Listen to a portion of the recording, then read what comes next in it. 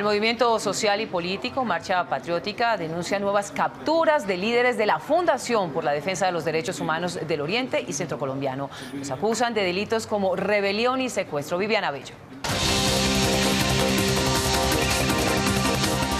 Omaira, muy buenas tardes. Pues mire, como usted bien lo ha mencionado, hace pocos segundos terminó la rueda de prensa a la que convocaron las organizaciones sociales y el movimiento social y político Marcha Patriótica, dadas las recientes capturas de líderes defensores de derechos humanos, pues que hicieron parte de las protestas del paro agrario dado en el 2013 y quienes también pues hacen parte de la Fundación por la Defensa de los Derechos Humanos del Centro y el Oriente Colombiano. Quien nos amplía la información es David Flores, quien es vocero nacional de Marcha Patriótica. David, ustedes dicen no más falsos positivos judiciales el día de hoy.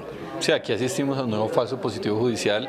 Se criminaliza haber participado en el paro, se criminaliza haber ejercido una labor de derechos humanos en ese mismo, la entrega de unos policías infiltrados en medio de las protestas a la Defensoría del Pueblo y por eso nuestros compañeros hoy, especialmente al presidente de la Fundación Esmer Montilla, se le imputa del delito de rebelión y secuestro, lo que hecho que rechazamos y que muestra una, una justicia cada vez más parcializada.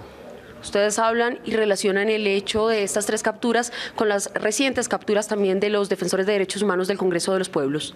Sí, aquí hay una, una conexión directa y una ofensiva contra el movimiento social que busca debilitarlo y que busca que no sigamos expresando una opinión que busca generar una incidencia directa en el proceso de paz hacia el cese al fuego bilateral y hacia una paz con unas transformaciones más profundas.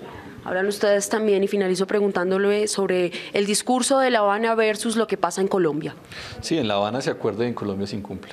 En, en, La Habana se acordó garantías de participación política, se acordó garantías de participación para el movimiento social y en Colombia lo que vemos es que las garantías son los grilletes y los barrotes de la cárcel. David Flores, muchísimas gracias. Pues bien, Omaira, nosotros continuamos pendientes de esta importante información que se registra en la localidad de Teusaquillo. Por ahora regreso con usted a Estudio Viviana Bello, Noticias Capital.